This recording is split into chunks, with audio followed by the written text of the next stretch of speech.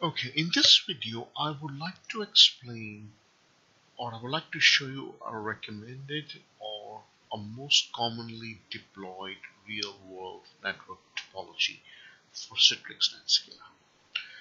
In previous video I have shown you my lab topology which is basically just for this course where I have just two networks. My NetScaler have two arms, one connected to external network which is simulated by this IP range. In real world, it's a private IP range, but in the lab, we are assuming that it's public IP. And so one arm is connected to the external network, and the gateway and the gateway to outside world is this router, right? Which has also has the IP of the same range. So they are like your external network where your firewall and your IP have your router IP same range or same subnet. And then on one arm or one interface connected to internal network where my resources or services are. Right?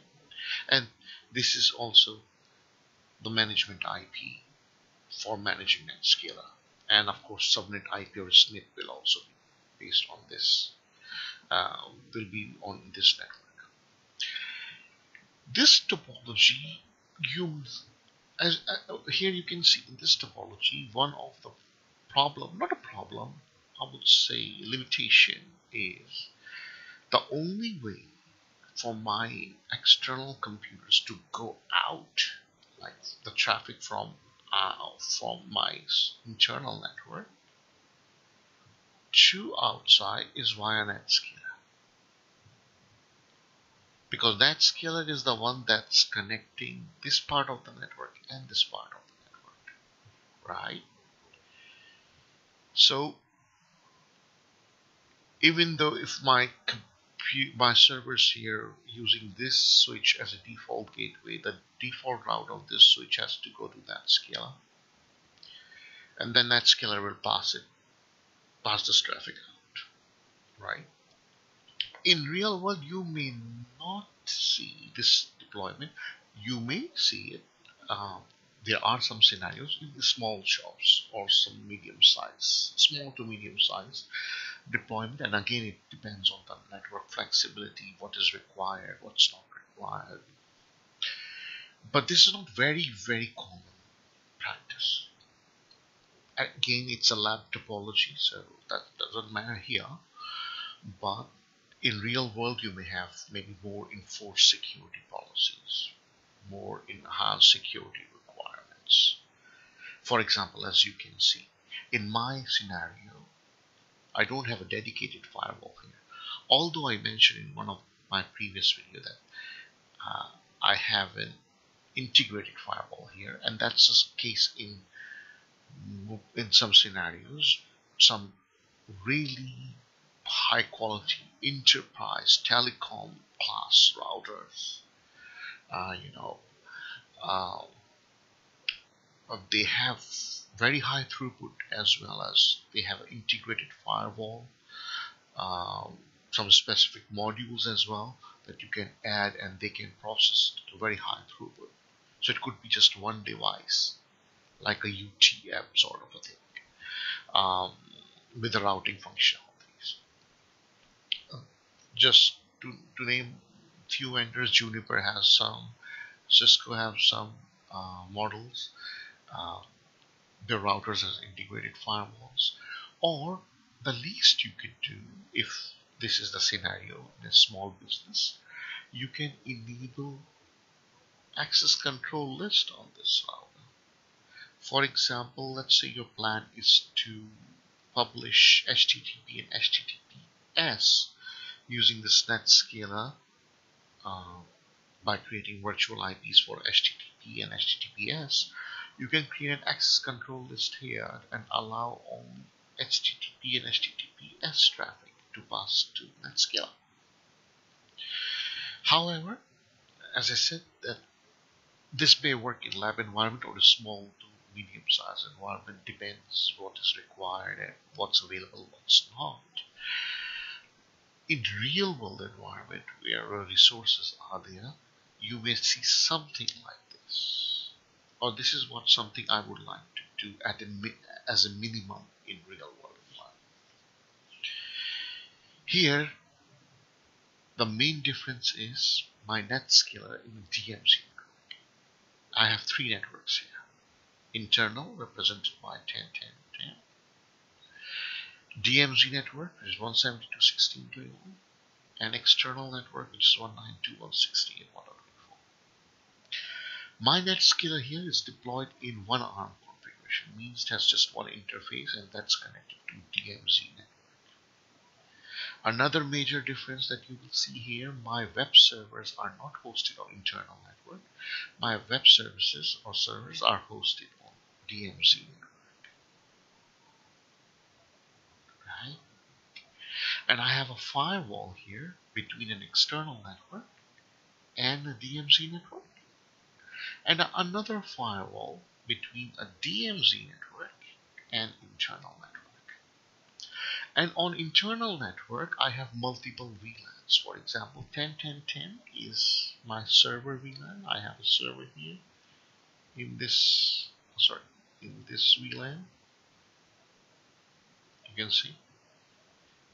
An example, I have just one server, but it could be some other servers as well, like database server or some app server or Exchange, mailbox server, etc. Um, okay, uh, and here I have another network or subnetwork 10.10.11 that's for the clients. You may have multiple subnetwork for client 10.10.11, 10.10.12, 10.10.30 for example, one for finance, one for IT, one for marketing, bottom one for voice data of course. Uh, bottom line is I have multiple subnetworks on internal network. Correct. All of these networks gateway is this core switch. Core switch default route goes to firewall. This firewall default route goes to this firewall and this firewall default route goes out. So NetScaler is not involved in outbound flow, outbound traffic flow. It's not a default gateway for my internal network. I don't have to do that. Okay. As far as these servers are concerned, I'm publishing these servers through NetScaler and they are in DMZ network so NetScaler can reach them easily because the SNIP will be defined on the DMZ. NetScaler already have in this scenario this SNIP so as you can see the subnet IPs in this range so it can communicate at most I would like to do maybe one another VLAN in the DMZ switch connect the management interface of NetScaler to a separate VLAN but even that's a possibility that more flex one of the flexibility that I can do but anyway I can have a management VLAN also here in this uh, management IP I mean can also define to DMZ network or another VLAN but DMZ network. So this is ideally be the case. Of course, as I mentioned one of my previous videos, firewall has to be high speed, high throughput so it don't bog down the NetScaler. This is one of the typical scenario or network topology that you will see in real world environment NetScaler one ARM configuration deployed in DMZ network. This is not the only configuration once again. they are many possibilities. Possibilities are endless I would say.